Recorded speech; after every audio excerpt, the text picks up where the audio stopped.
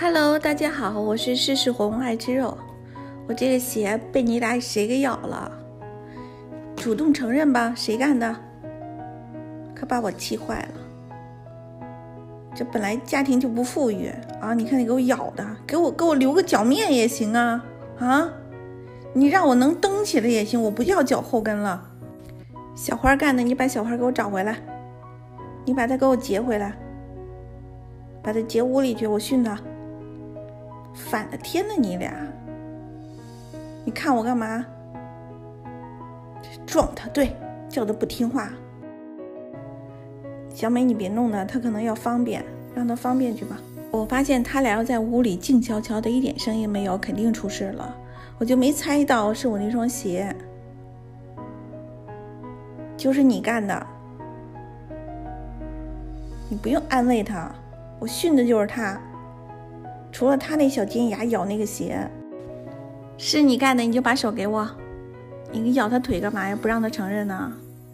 做了错事要勇于承认呢。你俩琢磨着想回去是吗？做梦！谁都别想回去。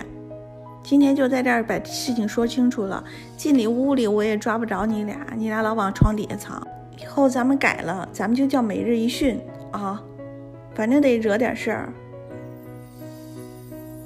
你不用护着他，我知道是他干的。